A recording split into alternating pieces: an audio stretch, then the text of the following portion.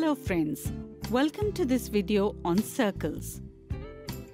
In the previous video, we discussed about concyclic points and a theorem related to it. Today, we will solve a question based on it. So let's start. In triangle ABC, points P, Q and R are the midpoints of sides BC, CA and AB respectively and AD is perpendicular to side BC. Then, prove that points P, Q, R and D are concyclic points. Friends, we are given that in triangle ABC, points P, Q and R are the midpoints of side BC, CA and AB respectively.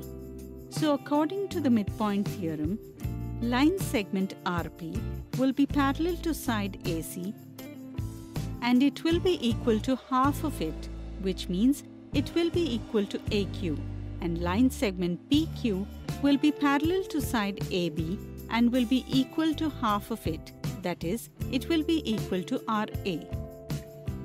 The opposite sides of the quadrilateral AQPR are equal and parallel. Therefore, it will be a parallelogram.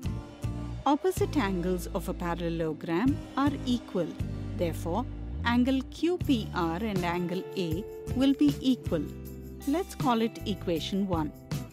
Friends, we have to prove that points P, Q, R and D are concyclic points.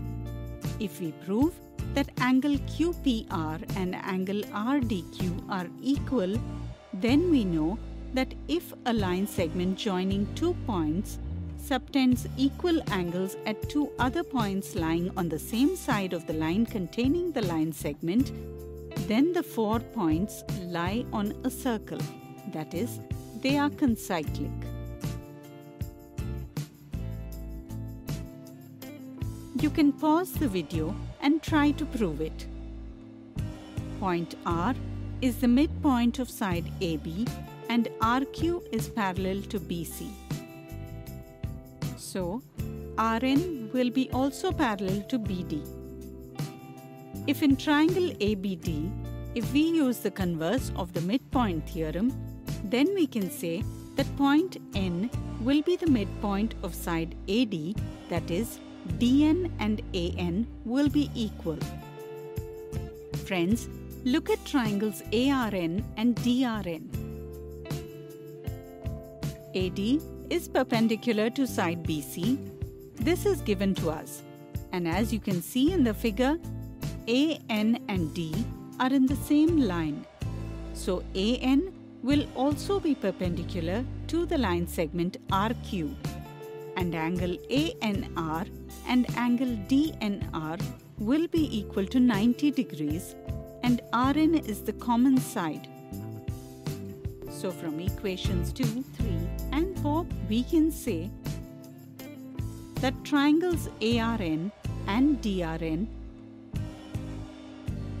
will be congruent according to the side angle side congruence rule.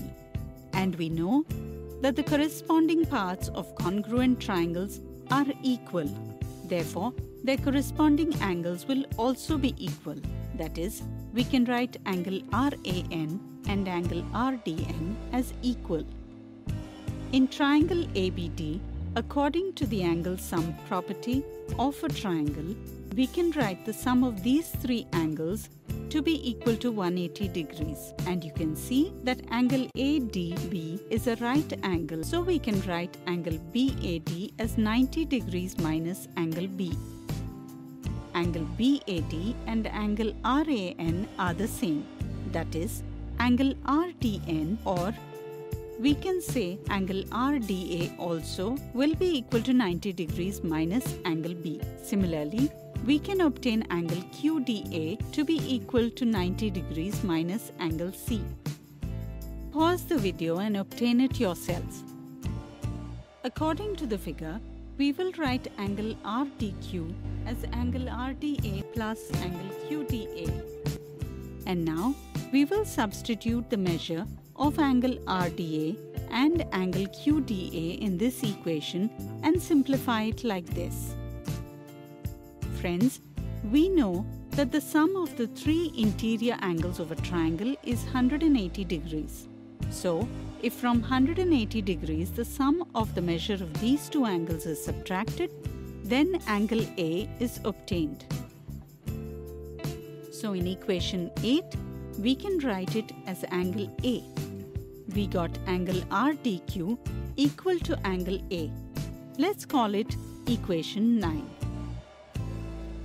Now, from equations 1 and 9, we can say that angle RDQ and angle QPR are equal. These two angles are the angles subtended by the line segment RQ on point D and point P. Therefore, we can say that points P, Q, R and D are concyclic points. Friends, that's all in today's session. Today, we solved a question based on concyclic points and a theorem related to it. See you in the next video. Thank you.